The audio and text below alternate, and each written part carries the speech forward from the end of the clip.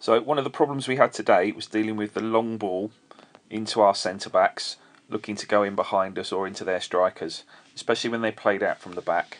So from their keeper, we had ball coming out to one of their defenders, who was then looking to exploit this space in behind or trying to play into their centre forwards.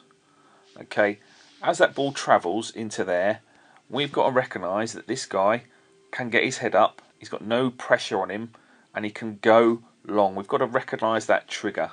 So, back four. As soon as that happens, we've got to be half turned. We've got to drop 10 yards. Before the ball's kicked, we've got to drop off or as the ball's travelling. Second thing that's got to happen, as the ball travels, one of us goes to meet it, okay, and try and get ahead on it, but the other three drop off and cover. So he goes to press it, these three drop in and cover, and that way, even if we don't win the ball and it gets flicked on or it, it, it gets half cleared, we can deal with it. Okay. Third thing that needs to happen is our centre midfielders need to be the first ones down to this second ball. If we do get a knockdown and get that ball into that area, we've got to be quicker than their midfielders getting onto it. So holding the line is really important and making sure we protect the space that's in behind us because that's a real dangerous area and we've got to deal with that.